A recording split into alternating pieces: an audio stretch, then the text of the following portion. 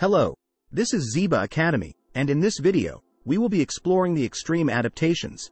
How animals thrive in the harshest environments on Earth. Animals show an amazing ability to adapt to the most extreme conditions on the planet. From deserts to polar ice, these creatures have developed unique strategies for survival. Deserts are among the toughest places to live due to high temperatures and limited access to water.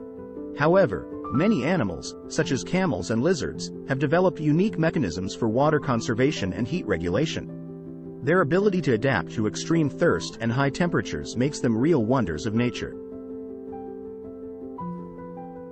Polar inhabitants face the opposite problems, such as low temperatures and limited access to food. Various animal species, including polar bears and Antarctic penguins, have developed unique adaptations that allow them to survive in this cold and merciless world. Their thermoregulation mechanisms and ability to hunt in extreme conditions make them impressive examples of wildlife.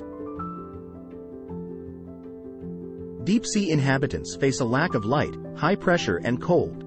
Various species of fish, jellyfish and other marine creatures have developed unique adaptations to live in this gloomy and inaccessible world. Their features include luminous organs, sensitive organs, and adapted digestive mechanisms.